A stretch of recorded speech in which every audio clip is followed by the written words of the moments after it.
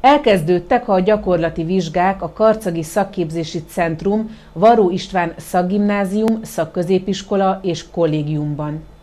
A koronavírus járvány miatt most a szóbeli vizsgák elmaradtak, így volt, aki a gyakorlati vizsga után már aznap átvehette a szakmunkás bizonyítványát. Az iskola tanműhelyében a 3 per 11-es a gépi forgácsoló osztálytagjai két nap alatt tették Győri József vizsgálnök és Sánta László az iskola delegált tanára előtt a vizsgát. Az osztály egyébként 17 fős volt, a forgácsolók közül 12-en vizsgáznak, ugye két napra lebontva, és még van egy gázhálózat rendszerszerelő csoport, ők pedig majd holnap fognak vizsgázni. Mint osztályfőnökük Fodor Csaba elmondta, a tanulóknak négy óra alatt egy kupos menetes tengelyt kell gyártaniuk vizsgafeladatként. Több rész meg kell munkálniuk, gyakorlatilag az egy munkadarabon belül, és hogy több méretnek meg kell egyeznie, hogy tökéletes legyen. A vizsgán előbb meg kellett tervezni papíron a kiadott műszaki rajz alapján a munkamenetét, azt követően pedig elkészíteni.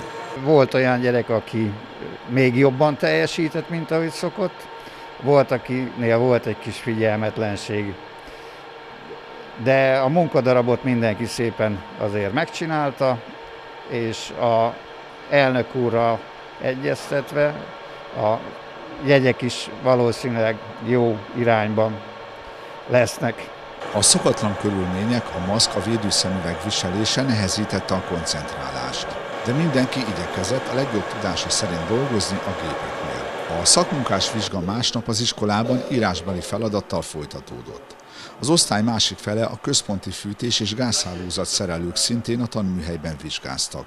Győri József vizsgaelnök és Sánta László az iskola delegált tanára előtt. Itt is a műszaki rajz alapján kellett összeállítaniuk egy központi fűtés és gázhálózat rendszert. Egy eh, nagyon jó keresett szakmának lesznek majd a e, részesei, hogyha sikerül a vizsgájuk, és hát az, hogy folytassák tovább ezt a itt megszeretett és megtanult szakmát.